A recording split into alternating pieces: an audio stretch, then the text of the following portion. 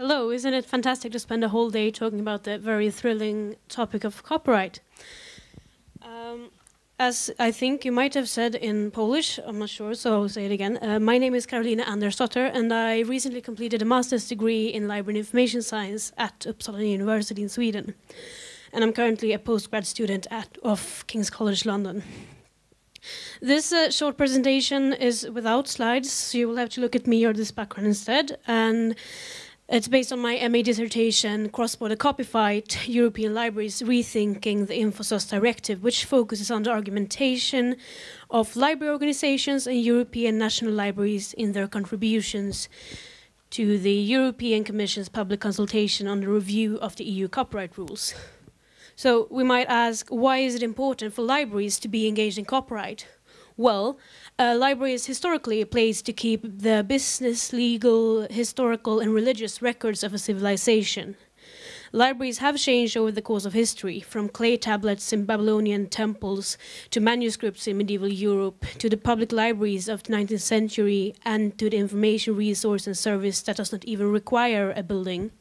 However, their cultural role has been consistent to acquire or provide access to books, periodicals, and other media that meet the educational, recreational, and information needs of their users. A general note on libraries and copyright, though, is that European research at the moment seems to be centered on copyright as an information literacy issue. Studies has been done in Bulgaria, Croatia, France, and Turkey on the copyright literacy competence of library and information professionals professionals. Uh, librarians' everyday work is affected by copyright, not only when making deals with journal publi publishers, but also in interaction with users, where librarians are consulted as an authority concerning what is and is not allowed concerning the library's material and copyright. This is, of course, in one way problematic, as librarians uh, don't have the legal expertise. Well, I guess some do, but, but most don't. Uh, and one concern of the copyright literacy studies was that the librarians have a tendency to be a sort of copyright police. Uh, they would often suggest users to be more careful about copyright infringing than is necessary, just in case. For example, because concepts such as fair dealing is a really hard to interpret gray zone. In my view, it is necessary uh, that copyright is not just discussed as legislation, but as a cultural phenomenon uh, affecting people in both the digital and the physical environment. environment. This has, of course, been touched, about, uh, touched upon by many today, so I'm glad to know that I'm not alone in this uh, view. And now we'll, we'll go back to my thesis again after this short Introduction to Libraries and Copyright. So the EU copyright rules are, as you probably know, regulated by the InfoSoc Directive, uh, which holds a set of non-mandatory limitations and, and, exceptions that the member states can choose to implement in their national legislations. Now, about 28% of the consultation contributions from institutional users uh, were from library stakeholders, uh, so that's approximately 80 replies, uh, and that is libraries and library organizations. And my main findings in my research were that library stakeholders in general are strongly supportive of EU copyright reform, arguing that democratic values as well as the EU single market would benefit from it. Though it is well worth noting that there are also library stakeholders who uh, argue against legislative change, either suggesting extended collective licenses as a way to deal with copyright across borders, or arguing that the principle of the member state's sovereignty is more important than a pan-European copyright legislation. Concerning limitations and exceptions, many of the library stakeholders propose either a general fair use exception in EU copyright law or adding several specific exceptions, most notably ones for text and data mining, e-lending, that publicly funded research should be published open access, and that contracts and technical protection measures cannot override the limitations and exceptions. Uh, library stakeholders from the Central and Eastern European member states are more supportive of a copyright reform than their Western European counterparts. They do not mention in the con contributions to the consultation replies like uh, licenses as a possible solution, while, for example, Scandinavian libraries tend to think li licenses is a swell idea, probably because uh, we have used the system already for some time and wouldn't wouldn't like to change because it's easier that way. I guess I don't know. I don't really like that solution myself. Uh, in general, the library stakeholders agree that the interoperability, exchange, and cooperation in activities and projects that involves several EU member states suffers from the current copyright legislation. So, in short, something has to be done.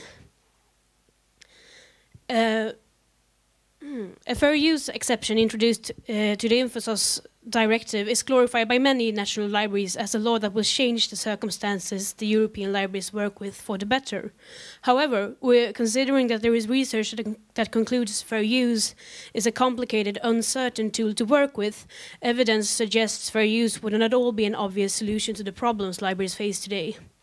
What also complicates matters, and is, in my view, discussed all too little, is the different legal traditions of Europe. The Berne Convention results from negotiations between the different legal systems, like the paradigm between copyright and droit d'auteur, between civil law and common law traditions, and this constant dichotomy of uh, copyright and droit d'auteur, the economic and moral rights, is it is still apparent in the discussion about copyright and in national copyright legislation. Uh, one important thing about copyright is, of course, also the concept of the author. Like we could look, have the Foucauldian view of the author as symbolizing a privileged moment of individualization in the history of ideas, knowledge, literature, philosophy, and the science. And we can compare this to the concept of the Gutenberg parenthesis, which, in, it in its name, suggests that the possibility to mass produce cultural products with help from the printing press, which is highly beneficial for the author concept, is now being replaced with a digital media culture that provides the possibility of sampling, remixing, borrowing, reshaping, appropriating, and recontextualizing indefinitely. And Foucault does say in his writings that the function of the author does not affect all discourses in the same way at all times and in all types of civilizations. So we have this changing role of the author whose genius and creations is what copyright aims to protect today. So it's a whole, whole sort of new philosophical view of it that we have to adapt to.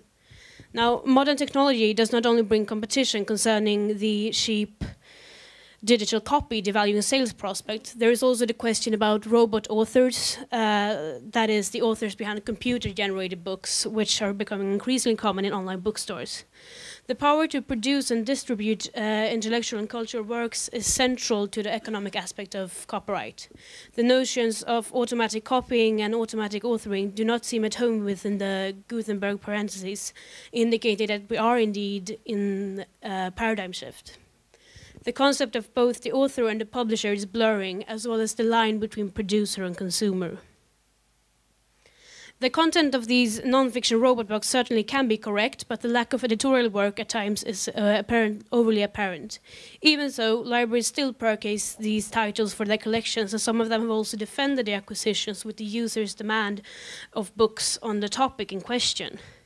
So what we will have to ask ourselves is, uh, is a robot author an author, and does it have any more moral rights? And if the robot author doesn't, who holds the copyright to the title in question? The programmer, the provider of the big data that the robot author used, based his book on? I mean, it's a very complicated question in many ways, especially when you look at the moral rights. Uh, as we can see, our uh, concept of copyright today might as well call for reform tomorrow. Technology will always bring new questions. Compare, for example, with the Star Trek teen TNG episode Measure of a Man, uh, which discusses the android being, which is very interesting. Now, it is not only the concept of the author that needs rethinking. A copy is created when a user logs onto the internet. So the power of the web cache, in fact, makes EU citizens who use the internet on a regular basis recidivist, since copyright infringement is unavoidable when using the internet. Now, back to the libraries. What the wish for a fair use exception reflects is the libra library's needs for flexible solutions. Fair use is not a perfect solution, but it is regarded as better than status quo. And perhaps the argument is also based on the balance of probability. A head over heels reform of the InfoSoc directive uh, is not plausible, but a step-by-step -step revision of European, European copyright legislation might be conceivable. And the fact that libraries construct arguments around a single market also indicates that a step-by-step -step approach to achieving copyright reform is seen as a better method than to call for a European-wide library commons. Uh, of course, the libraries will form their arguments related in accordance with their supposed impact. In my analysis, for example, I used the theoretical framework of the relations between structural, instrumental, and discursive power, and that, that is a way to look at how the libraries could hope to influence legislation in this context, basically. Uh, the need for mandatory exceptions is another conclusion from the study. According to the library stakeholders, this would have a positive effect on both the economy and the society as a whole. Sharing information across borders, often via the internet, is now an everyday phenom phenomenon, and the legislation should reflect societal norms rather than restricting them. The library stakeholders have an interesting discussion on democratic values, innovation, and European cooperation, and how those aspects are at risk within the current legislative fr framework. So in this case, it's not just about choosing a copyright legislation, it's about choosing the society we want. Thank you.